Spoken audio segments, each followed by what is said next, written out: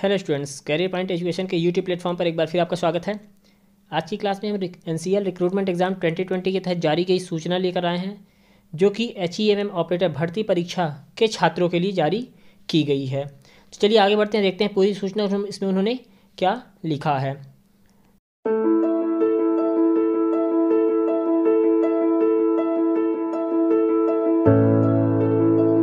तो जैसा कि आप देख पा रहे हैं, यह सूचना संख्या चार सौ इकतालीस और दिनांक दिया है अट्ठाईस मार्च दो हज़ार इक्कीस की।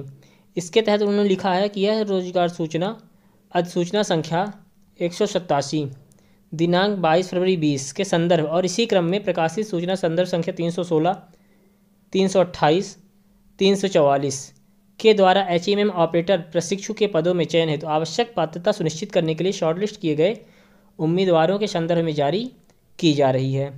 उम्मीदवारों द्वारा प्रस्तुत किए गए मूल दस्तावेजों की आवश्यक जाँच के उपरांत, चयन समिति इस सूचना के माध्यम से ऐसे उम्मीदवारों की सूची को अनुलग्नक ए के द्वारा अधिसूचित कर रही है जिनको अयोग्य मानते हुए उनकी उम्मीदवारी संबंधित रोज़गार अधिसूचना के खंड सेवन, टेन, फिफ्टीन, सिक्स का एवं खा फोर के अनुसरण में उनके नामों के समक्ष उल्लिखित कारणों से रद्द कर दी गई है। यानी कि ये जो सूचना है मुख्यतः H E M M operator trainee के पदों पर ऐसे छात्रों की सूची जारी कर किया जा रहा है इसके माध्यम से, जिन्हें शॉर्ट लिस्ट किया गया था डॉक्यूमेंट वेरिफिकेशन के लिए और चयन समिति यानी जाँच समिति के समक्ष प्रस्तुत दस्तावेजों के आधार पर। या तो दस्तावेज़ उनके गलत पाए गए या फिर वो मूल दस्तावेजों की जाँच कराने के लिए चयन समिति के समक्ष उपस्थित नहीं हुए। तो उसके आधार पर चयन समिति के द्वारा उम्मीदवारी उनकी रद्द कर दी गई यानी कि उन्हें अयोग्य घोषित किया गया है। तो इनकी पूरी लिस्ट जारी की है। एम ऑपरेटर भर्ती परीक्षा में शामिल हुए छात्रों की। तो चलिए देखते हैं पूरी लिस्ट नीचे। तो ये, जैसा कि आप देख पा रहे हैं यहाँ पे, ये पूरी लिस्ट दी है। यहाँ पर देखिए एनेक्शर ए है और कैंडिडेट का नाम, रोल नंबर और वो रीज़न जिसके कारण से उनकी अभ्यर्थिता को कैंसिल किया गया है। यानी कि डॉक्यूमेंट वेरिफिकेशन उनको फेल किया गया है। ठीक ना? जैसा कि देख देख एग्ज़ाम्पल देखते हैं यहाँ पर। जैसे ये प्रणव तिवारी यहाँ पर दिया candidate has scored below fifty five in matriculation hence the candidature is cancel in ठीक ना? एम्प्लॉयमेंट नोटिफिकेशन मतलब कि कुल मिला के यह है कि कुछ लोग ऐसे भी हैं जिनकी कि मेट्रिकुलेशन में फिफ्टी फाइव परसेंट से कम है। ठीक? जो आपकी कैटेगरी वाइज जो परसेंटेज यानी कि जो आपकी योग्यता मांगा गया था कि किस कैटेगरी में फिफ्टी परसेंट मांगा है, कहाँ फिफ्टी फाइव मांगा है।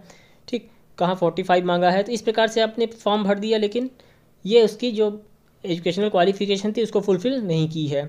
इसी प्रकार से कुछ ऐसे कैंडिडेट भी हैं, जिनको कि वहाँ पर डॉक्यूमेंट वेरिफिकेशन को अटेंड नहीं किए हैं। यहाँ लिखा जैसे candidate has not attend the schedule scrutiny of original document तो इस प्रकार से कई कैंडिडेट ऐसे भी हैं, जो कि डॉक्यूमेंट वेरिफिकेशन में सम्मिलित नहीं हुए। तो उनको भी क्या किया गया है, इस लिस्ट में नाम उनका आया है कि उनको, उनकी अभ्यर्थिता को कैंसिल किया जा रहा है।